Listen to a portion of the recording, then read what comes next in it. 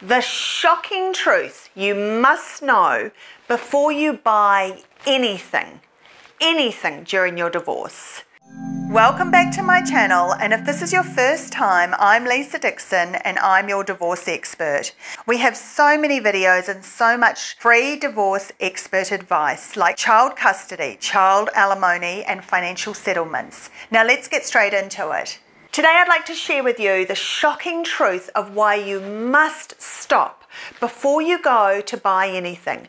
And let me share some examples with you. For instance, I had a client who wanted to buy a brand new Honda Odyssey. I said, why? It would become joint property. That means that both of you have to put it on the balance sheet and you both have to share it. It might be 50 50, it might be worse than that. He needed to buy the car, so he purchased the car, and sure enough, he had to share it with his partner, his ex partner.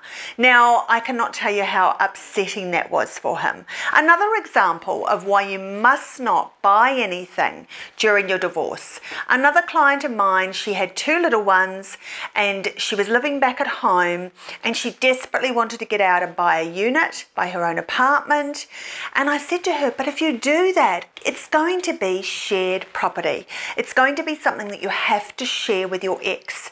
Do you want to share this purchase with your ex partner? That is the number one question you must ask yourself.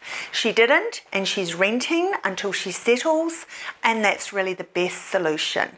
There's another one. I had a client, and he had four children, and he paid everything with cash. So, the learning here, number two, about don't buy anything, is that everything is traceable. You need to have a think about all your credit card statements, your bank statements, receipts, all of that. All of those types of documents can be brought into your settlement, they can be brought into court. So have a think about whether you can pay with cash, whether you need to pay with cash, whether you want it to be traced. That is the key question. The third tip I want to share with you today is about gifts and inheritances.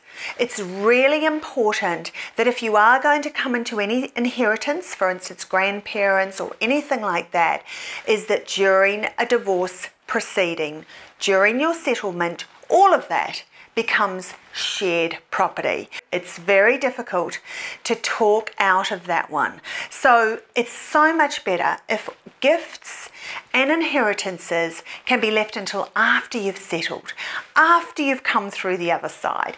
Get through your divorce, have it all signed off, and then you can buy the new car, you can buy the new house, you can start afresh, you can start the new chapter in your life. Thank you for liking today. Thank you for sharing. Thank you for listening. And it's great talking with you again. And I'll see you on the next video. Lisa Dixon from Divorce TV. Bye for now.